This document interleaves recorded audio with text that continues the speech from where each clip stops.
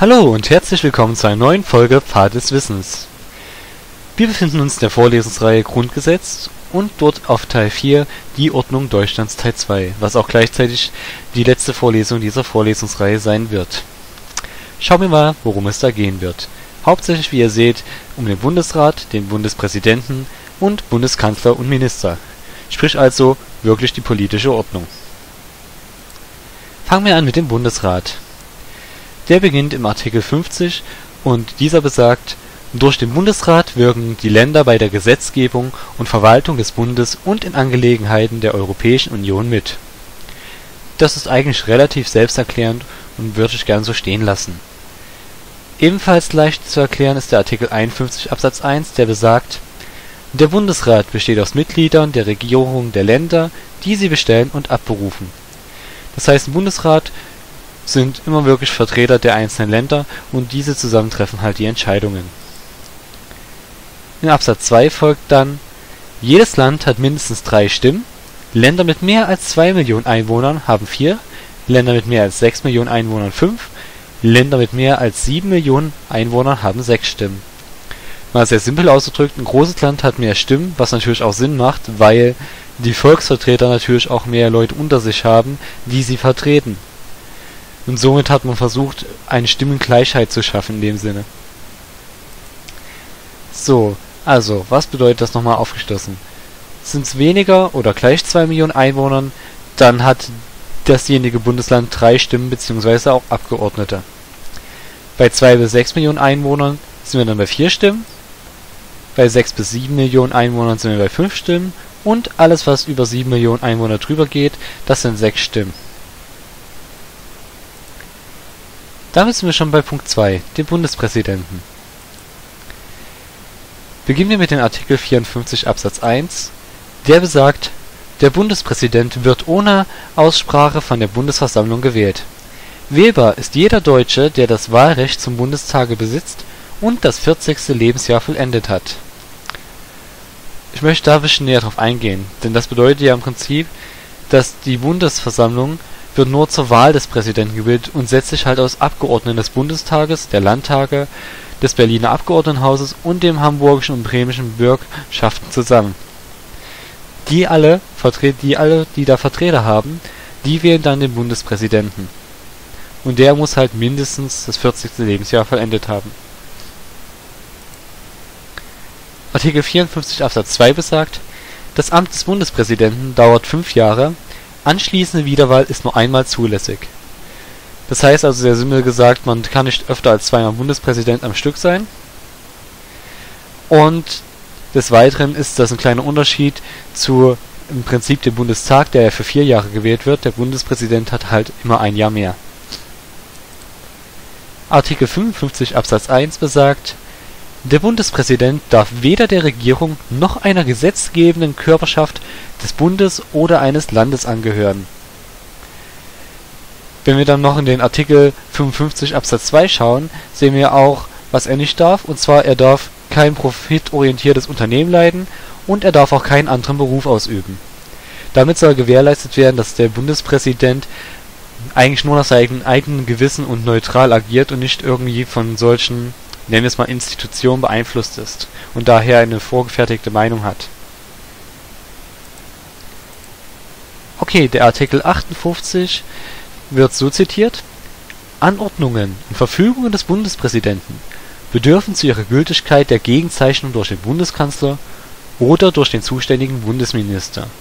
Ich denke, das ist zwar eigentlich auch relativ klar aber es gibt da noch eine kleine Ausnahme. Das gilt nämlich nicht für die Ernennung oder Entlassung des Bundeskanzlers oder bzw. und die Auflösung des Bundestages. Artikel 59 Der Bundespräsident vertritt den Bund völkerrechtlich. Okay, das macht natürlich Sinn. Er ist ja sozusagen auch unsere Auslandsvertretung allgemein. Er schließt im Namen des Bundes die Verträge mit auswärtigen Staaten und er beglaubigt und empfängt die Gesandten das sind sozusagen der Artikel 59 regelt, wenn man so möchte, seine außenpolitischen Aufgaben. Artikel 60 Absatz 1 das ist die Aufgaben, die er sozusagen innenpolitisch hat. Und zwar ernennt der Präsident Bundesrichter, er entlässt sie auch. Dasselbe gilt für Bundesbeamten, Offiziere und Unteroffiziere. Und es gibt die Möglichkeit, das gesetzlich einzuschränken, das ist aber in der Regel nicht so der Fall. Artikel 61 Absatz 1 Der Bundestag oder der Bundesrat können den Bundespräsidenten wegen vorsätzlicher Verletzung des Grundgesetzes oder eines anderen Bundesgesetzes vor dem Bundesverfassungsgericht anklagen, was natürlich auch Sinn macht. Voraussetzung dafür ist aber, dass mindestens ein Viertel der Mitglieder des Bundestages bzw. des Bundesrates den Antrag auf Erhebung der Anklage stellen.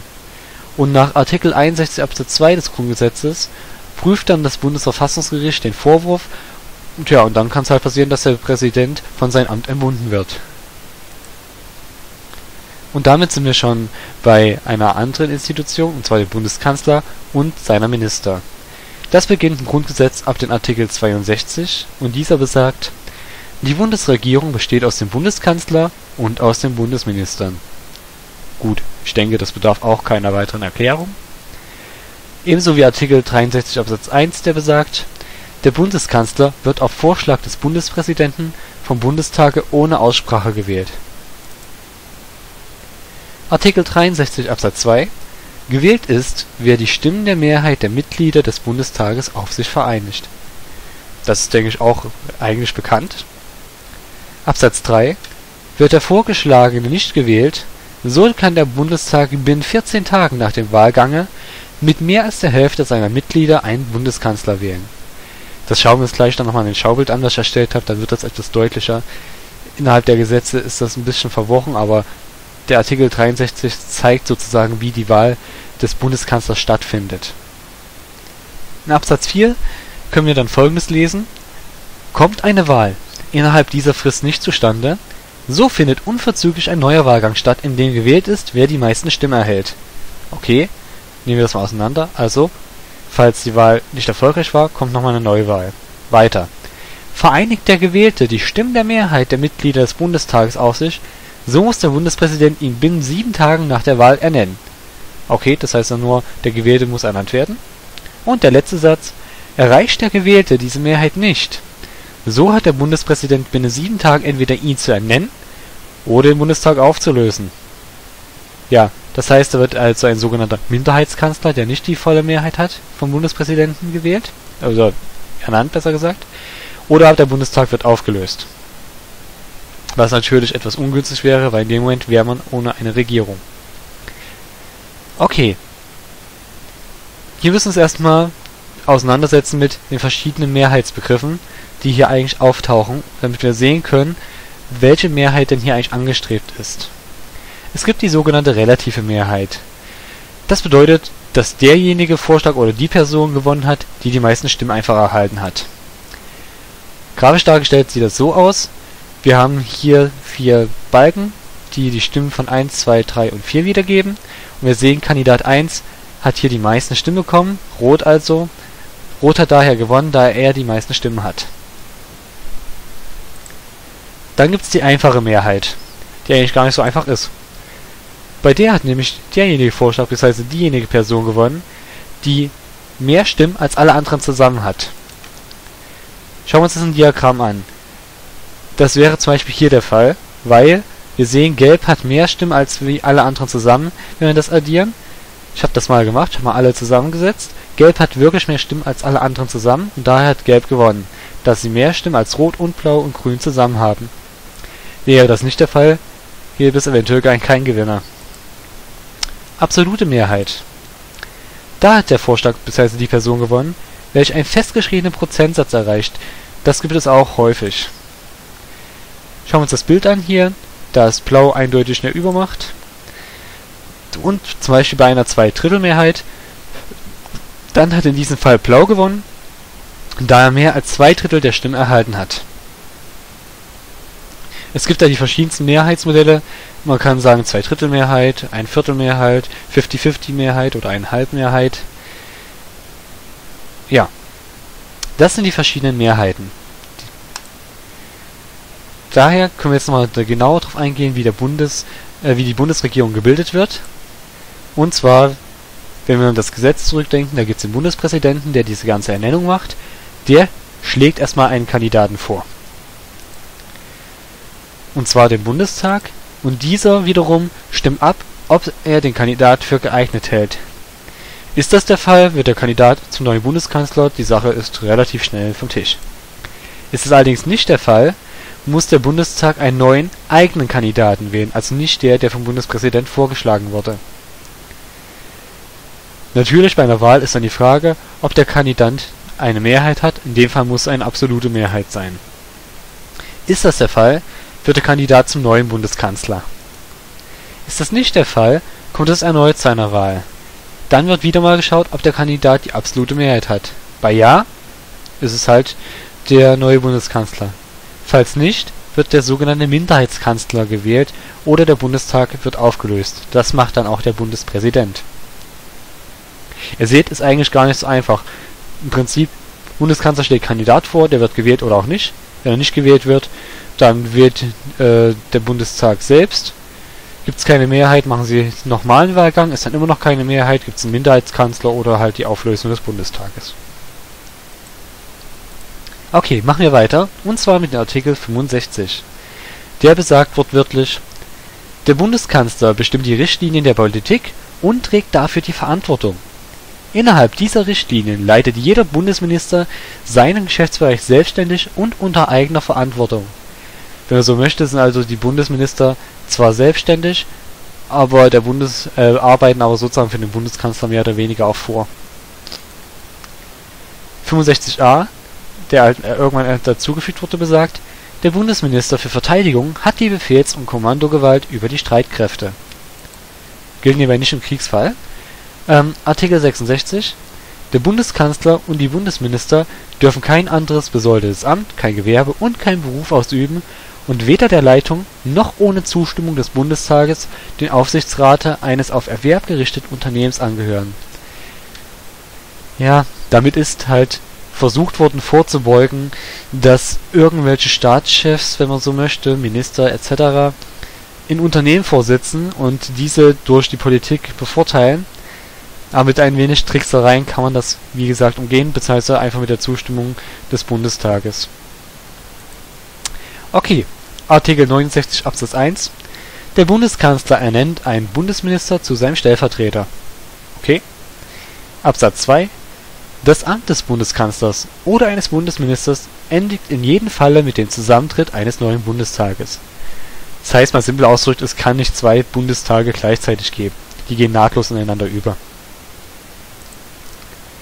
Schauen wir uns dabei mal die Aufgaben der einzelnen Organe an welche hatten wir? Den Bundespräsident, der ein selbstständiges Organ darstellt. Was macht er so? Naja, wenn wir uns recht erinnern, er schlägt den Bundeskanzler vor, er vertritt Deutschland nach außen, er nennt Bundesminister, Bundesrichter, Bundesbeamte und Offiziere, verkündet den Verteidigungsfall und kann auch einzig und allein den Krieg erklären. Der oder die Bundeskanzlerin schlägt Bundesminister vor, hat im Verteidigungsfall Heeresgewalt, das heißt also, da ist dann nicht mehr der Verteidigungsminister, wie ich schon gesagt habe, sondern äh, der Bundeskanzler im Kriegsfall leitet selbst die Truppen, bestimmt die Richtlinien der Politik, bestimmt einen Stellvertreter und kann die sogenannte Vertrauensfrage stellen und so gegebenenfalls zur Auflösung des Bundestages führen. Die Bundesregierung selbst verwaltet Deutschland, kann neue Gesetze vorschlagen und regelt die Ausführung der Bundesgesetze durch die Bundesbehörden Erinnert euch, die Bundesregierung besteht im Prinzip aus Bundeskanzler plus Minister. Und jene, die Bundesminister, die haben jeder halt ein Bundesministerium unter sich, leiden dieses in eigener Verantwortung für ihre Tätigkeit. Manche haben dabei aber noch Sonderfunktionen. Zum Beispiel der Finanzminister kontrolliert halt den Etat aller Ministerien und nicht nur seines eigenen. Er hat sozusagen ein übergreifendes Recht. Okay. Um das zu festigen, was wir gerade gelernt haben, bietet sich natürlich wie immer eine Übung an. Daher eure Aufgabe, löst folgende Aufgaben unter Nennung der gesetzlichen Grundlagen, begründet dabei eure Antwort. Hier sind drei Aufgaben. Ich wünsche euch viel Erfolg. Am besten ihr pausiert das Video. Ich springe zur Lösung und dann vergleichen wir. Viel Erfolg! Okay, kommen wir zur Lösung. A. Hier greift Artikel 50, äh, hier greift Artikel 50 des Grundgesetzes nach denen dient der Bundesrat dazu, dass die einzelnen Bundesländer an der Gesetzgebung und an der Verwaltung des Bundes mitwirken. Nach Artikel 51 Absatz 1 setzt er sich aus den Vertretern der jeweiligen Bundesländer zusammen.